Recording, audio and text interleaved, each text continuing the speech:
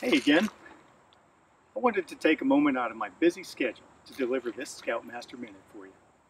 This particular Scoutmaster Minute came to me as I was riding my mountain bike.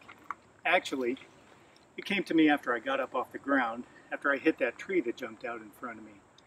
I dusted myself off, checked for major damage to me and my bike, and I thought of something the trails taught me.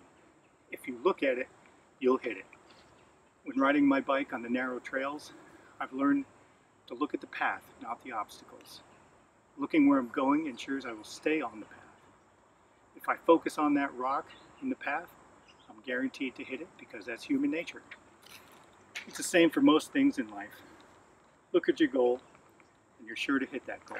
Focus on the obstacles thrown in your way, and you'll always seem to get pulled down by them. Adam focused on his goal of Eagle Scout, and look where he is now. You boys, don't lose your focus on that goal. Keep it close by and keep it in mind, and you're sure to get there. Throughout life, there will be obstacles in your path. Know that they're there, but don't focus on them.